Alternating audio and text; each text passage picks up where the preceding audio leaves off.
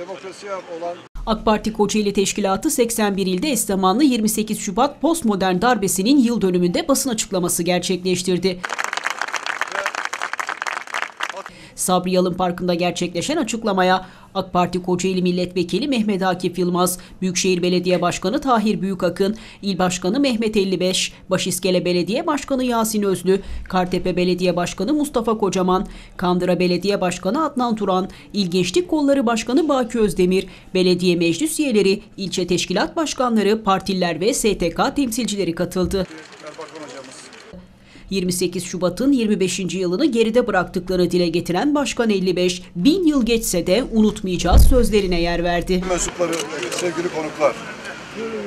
25. yılı geride bırakan ve postmodern darbe olarak adlandıran 28 Şubat süreci milletimizin inancına, iradesine, değerlerine ve insan haklarına, demokrasiye ve özgürlüklere yapılan fiili bir darbedir.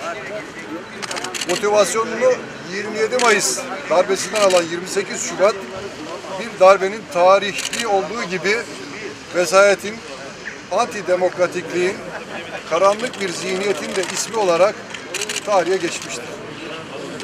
28 Şubat'ta sözde irtica tehdidiyle medya, darbeci zihniyete ram olarak topyekün savaş manşetleri atmış, Ankara sokaklarına tanklar yürümüş, antidemokratik Milli Güvenlik Kurulu kararları alınmış, demokrasiye balans ayarı denilerek dönemin hükümeti istifaya zorlanmıştır. Bin yıl sürecek dedikleri 28 Şubat postmodern darbesiyle insanlar ayrımcı, ötekileştirici ve insan haklarına aykırı uygulamalara maruz bırakılmış, milyonlarca insanın hayatı kararmıştır. Kadınlarımız ve genç kızlarımız ne acıdır ki bu karanlık sürecin en büyük mağdurlarından olmuşlardır.